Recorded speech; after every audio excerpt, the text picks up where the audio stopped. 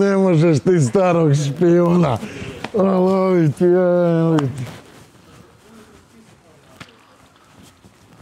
Spisak postoji, znači na tom spisku je Marija, znači bebica, znači...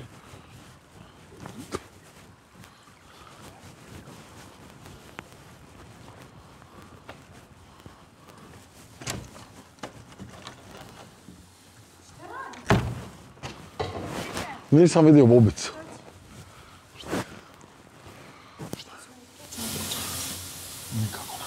Nećemo, pitam te. No nećemo. Ok, ne može se obratiti. Vidit ćemo, ajde.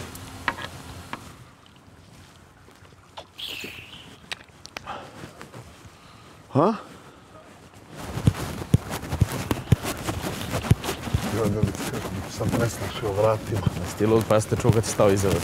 Kakav si gad. Da, si normalno.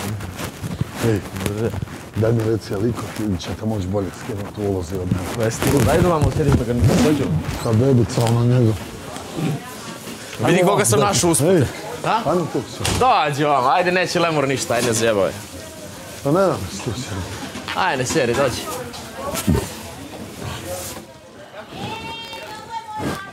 U,